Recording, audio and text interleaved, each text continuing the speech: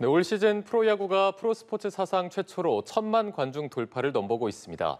늘어난 관중 수만큼 구단별 매출도 폭발적으로 늘었는데요. 네, 뜨거운 프로야구 열기를 박수주 기자가 담아왔습니다.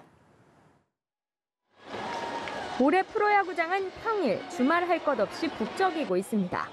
퇴근하자마자 온 가족이 야구장을 찾는 건 일상이 됐고 가족들끼리 이렇게 시간 다 같이 보내고 응원하면서 스트레스도 풀고 좋은 것 같아요. 완전 육아 스트레스 풀려요.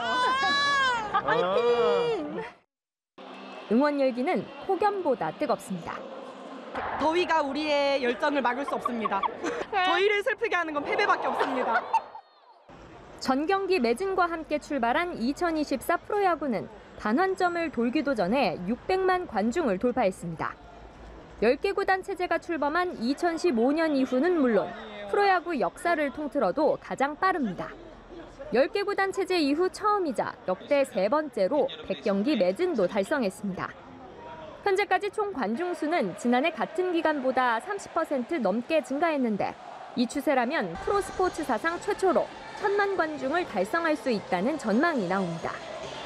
저는 지금까지 네 번밖에 못 왔거든요. 그만큼 진짜 자리 구하기가 빡센 것 같아요. 티켓팅이 너무 힘들어요.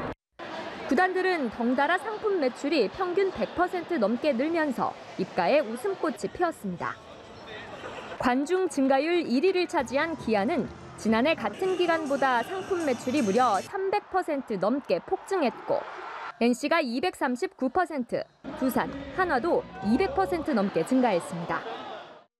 작년보다 이제 손님이 두 배 이상 많아져가지고 쉬는 시간이 적어진 건 좀 힘들긴 한데 그것 때문에 뿌듯한 것 같아요.